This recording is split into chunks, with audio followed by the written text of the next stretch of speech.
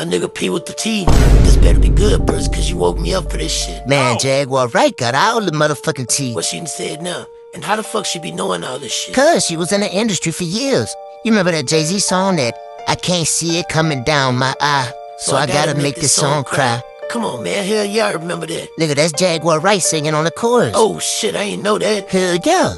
But anyway, I just seen a video and she saying that the reason Pimp C was killed is because he had a sex tape with Beyonce. How the lineup happened with fucking Pimp C? Ask some goddamn questions.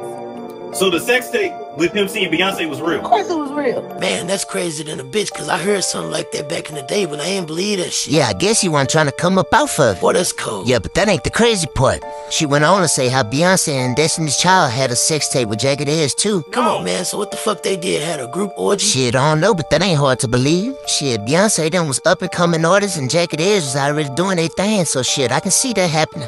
When they ran that train on them, they had it on tape. Destiny's Child. Yeah. What? That summer when they was all on tour together and then the tour instantly ended.